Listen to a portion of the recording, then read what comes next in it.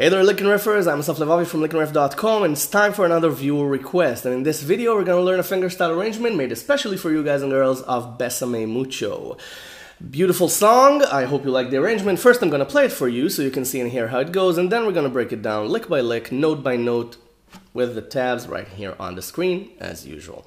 So, first, it goes like this. Enjoy.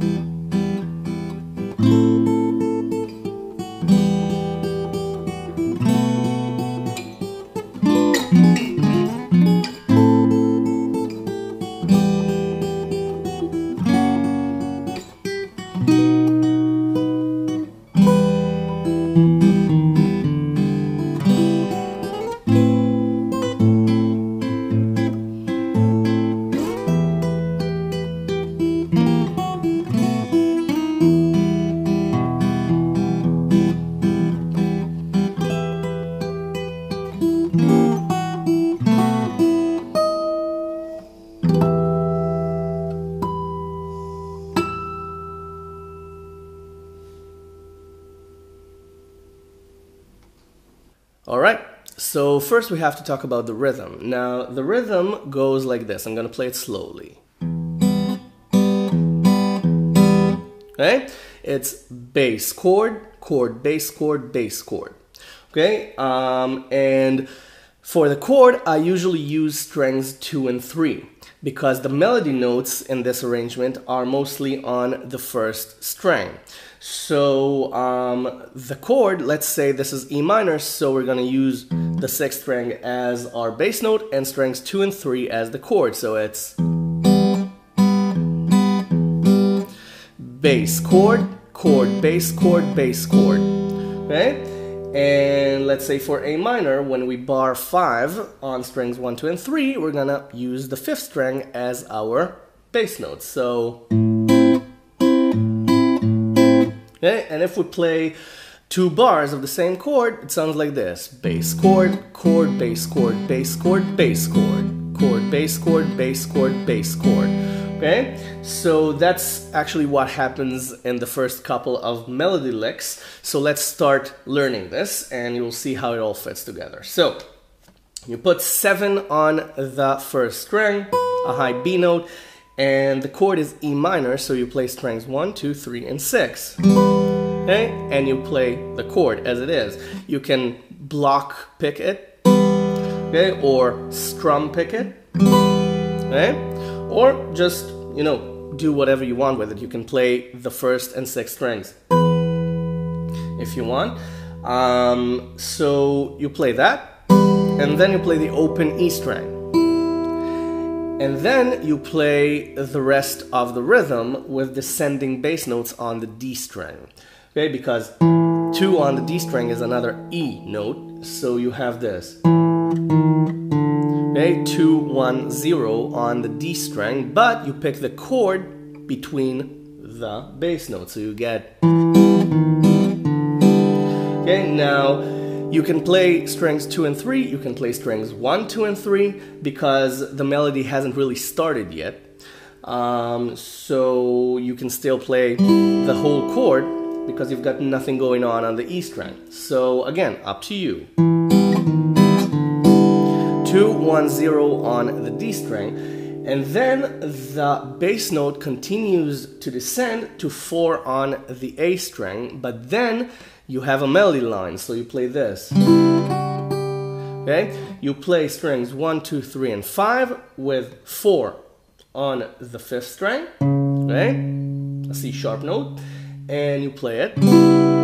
Okay? And then you add 2 and 3 on the E string. So what we get is this.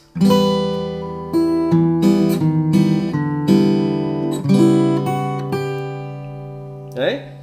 Again, E minor with a high B, uh, B note, open E string, two, one, zero on the D string, 4 on the 5th string with E minor, and then 2, 3 on the E string.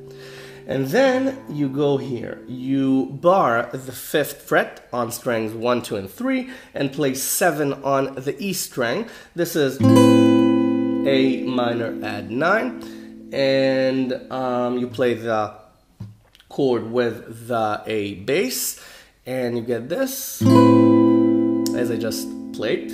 Uh, and then you want to put uh, your third finger on 7, so you have the pinky free to play 8 on the E string. And you play 8, pull off to 7, and then 5. Or you can do a double pull off okay but I prefer to pick the 5 because then I can play the bass note again and continue the rhythm so um, okay 5 with the A bass note and then the rhythm so okay so just to make things clear I'll play it in context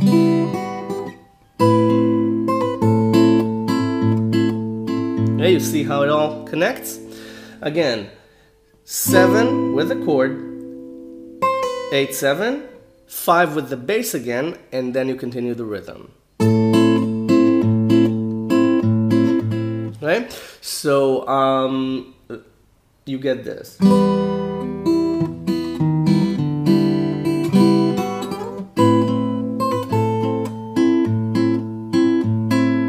Okay, and then you play this. Now, if this sounds familiar, it's because this is the beginning of Stairway to Heaven. Okay? It's exactly the same because it's A minor with a descending bass note. Okay, just like here. This time, instead of E minor, it's A minor. Okay, exactly the same move, five frets up. So um, the melody line, coincidentally, does the same thing it does at the beginning of Stairway to Heaven, goes 5, 7, 8 on the E string. So you've got the chord with 7 on the D string. So it's 5, 5, 5, 7. And then you play 5, 5 on the E string again. And then you play 5, 5, 5 with 6 on the D string and you add 7 on the E string and you do the same thing. And then you bar the fifth string up to the fourth, uh, the fifth fret up to the fourth string. So you have 5, 5, 5, and 5. And you add the pinky on 8 on the E string and you do the same thing. Okay, so you get this. Okay? 5, 5, 5, 7 7556 8555. Okay, just like phone numbers. Sometimes that makes it easier to remember. And then this. Okay?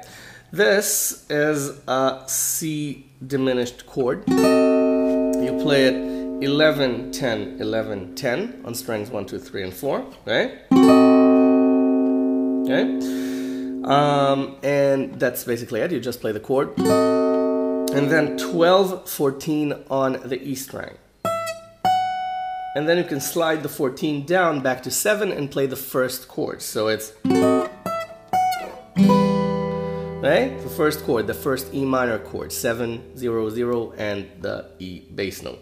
So you can play the bass note first and then the chord. okay, for syncopation. Um, again, depending on your taste. And that's the first half of the first part. Um, so let's play it slowly from the start. E minor, descending bass notes, descending again to 4 on the A string, E minor still, and then A minor add 9.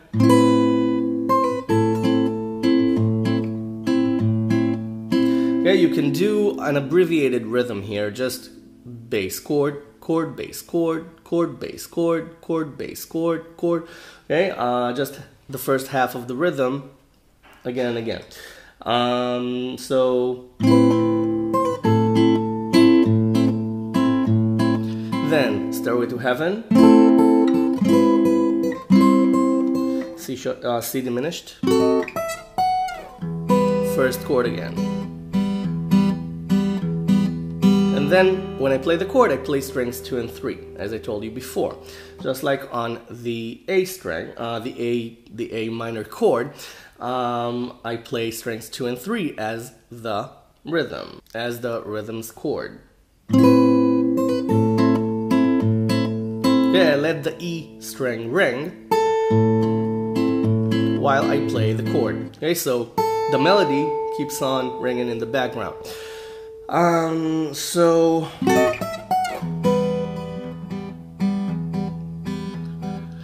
And then it's this. Okay, this is E7 because we're taking these two notes, strings 2 and 3, from E7, so we get 9 and 7 on strings 2 and 3. And we add the melody note, which is a high E note on 12. So I use my first, second, and fourth fingers for this. Okay, so it's 12, 9, 7, and the E bass note. And you get this. Okay, now, because uh, you play two bars of this, and the only melody note is this at the beginning, um, what you can do is you can add the E string to your rhythm every now and then, like this.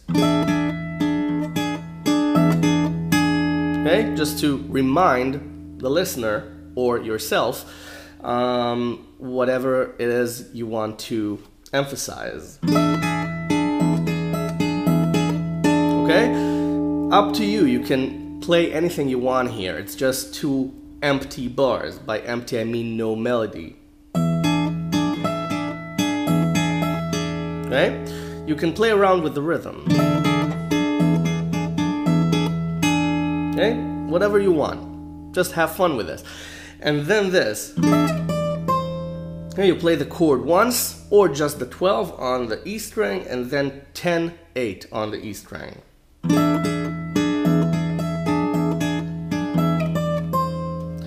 And then the same A minor line as before. Same thing, exactly the same thing. A minor add 9, then 8 to 7, then 5, then the rhythm. Exactly the same thing. And then this. You bar 12 on the first, second, and third strings, and play the sixth string along with either the whole chord, this is E minor again, or just the E string, just the first string. So it's either this or this. And then you continue the melody. The melody is strings on 12. One, two, three, two, three. And then open E string. So you get. Now, the fun thing here is that you can play natural harmonics if you want. Okay, whatever suits your style. Natural harmonics, of course, is if you don't know, um, my obligation to teach it um, because this is a lesson. And you just put your finger up on the strings you want to play out uh, in this case strings 1, 2, and 3, right upon the right above the steel fret, not the wooden part, the steel fret itself on 12, 12th fret. You just touch it, you don't press it, you don't want the string sound, you want this sound, uh, this ethereal sound. And you just touch it, you pick it, you let it go. Right? Because if you keep your finger there, it might dampen the sound. So, right? Same thing, strings one, two, three, two, three, with the E bass note at first and with the E high E string at the end. So, okay, or pressing it down. Okay? Then it's an E diminished chord, same thing as you did here, but on 3 2 3 2. Okay, and then 2 0 on the E string, then B7, and you play strings 1 2 3 and 5. Open E string, you can pull off to the open E string, right, and keep the chord on and then four on the second string, and then an E minor chord, an open E minor chord in any way you want. The important thing is that the last melody line is the open E string. So, okay, so you can play strings 1 and 6 and then play the chord as strings 2 and 3. So um,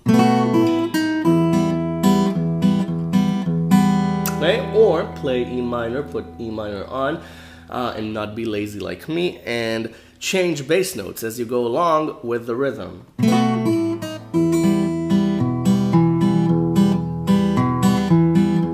Okay, it's after all, it's bass, chord, chord, bass, chord, bass, chord, bass, chord, chord. So with every bass note, just change a string. Play string um, five and then four and then five and then six or six five four six or six five five six. Whatever you play will work because it's a chord. It's just a chord. You just want to alternate bass notes a little. So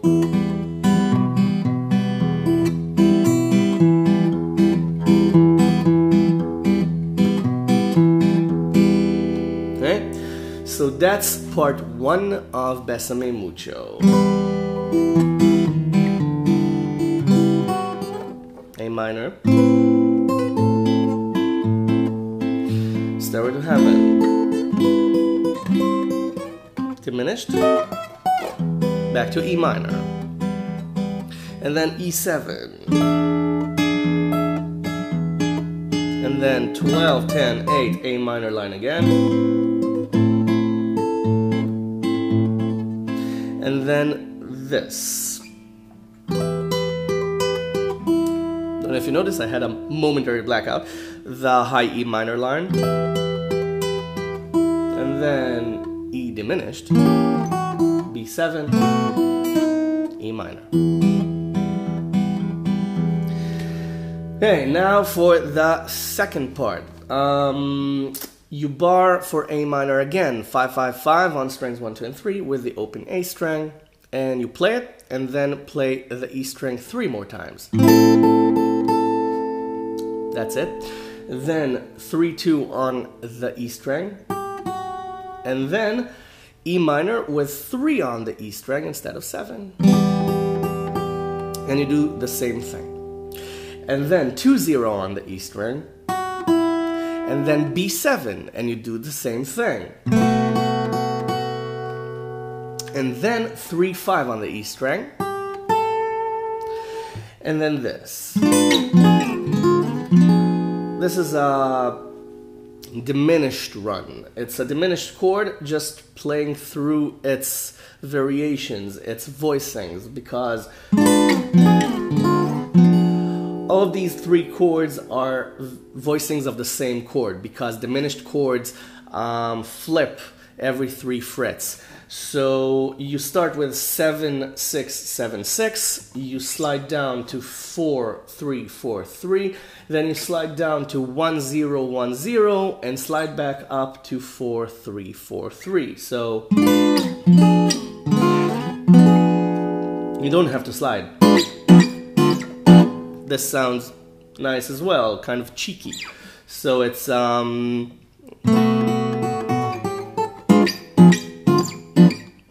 Okay, that works as well. I just like slides for some reason. Ever since I was a child. Okay, so um, A minor again afterwards. Okay, same line. 3 2 on the E string, and then E minor with 3 on the E string again, and then 2 0 again. But then the second time around, it's F sharp you can play F sharp 7, but you'll have to strum it to hear the 7 on the D string. So uh, again, up to you. I, I like to keep it the way it is in finger style and just play this and get the F sharp major sound. Uh, but you can do this, okay, for emphasis. Um, and then this okay um, 8 7 on the second string and when you play 7 bar the 7th fret and prepare yourself for B7 okay B7 again you need to play the D string in order to hear it so you can do this. So okay and then you get the 7th sound. So that's the second part. So before we wrap it up, let's play it again. A minor. E minor with a high G note. B7. Diminished run. And then A minor again. E minor again. B7 again. No, sorry. F sharp. Now B7. And then you play the first part again and you end it in any way you want on E minor uh, at the end of the line or uh, as I did in the demonstration just play the first uh, the first lick the first melody phrase and then end on the ending just connect the first melody phrase with the last melody phrase or do anything you want. Now it's your arrangement, you take it and you make your own version of it. But before you do, subscribe to my channel if you haven't already. There's a ton of lessons already on the channel and you know it's free, so why not? Just click subscribe and become a member of the LickNRiff community. And go download the tab, the link is right below in the description. For free, just everything here on LickNRiff is for free. It's called LickNRiff Free Guitar Education. And you know, if you want to give something back, there's a donation button, a large blue donation button right above the tabs on the website. You can't miss it. And everything goes right back into LickNRiff, into making these lessons, filming them, editing them, making the arrangements, practicing them, uh, perfecting them, and just taking the time to do everything. It takes a lot of work, so if you want to help out, I'd be more than grateful for your donation, and I thank you in advance for it. Anyway, you go practice this now. You have fun with this arrangement and make it your own. Don't forget, have fun with it and check out what kind of variations you can come up with. If you came up with something really good, make a video of it and send it to me. I'd love to see what you did with it. You go have fun, you go get this under your fingers, and I'll see you the next lesson. Bye for now. Thanks for watching.